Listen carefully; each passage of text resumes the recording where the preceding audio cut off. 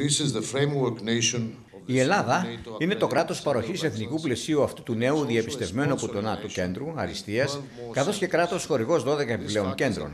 Αυτό το γεγονός αποτελεί απτή απόδειξη του ενδιαφέροντός μας για την προώθηση των βέλτιστων πρακτικών και την εξέβρεση λύσεων σε σύνθετα ζητήματα μέσω της κοινή προσπάθειας. Το κέντρο συνιστά την πιο πρόσφατη και πιο ενδεικτική προσθήκη στην προσφορά της Ελλάδας και των ενόπλων δυνάμεών της προς τη συμμαχία και την οικογένεια των διαπιστευμένων κέντρων αριστείας του ΝΑΤΟ.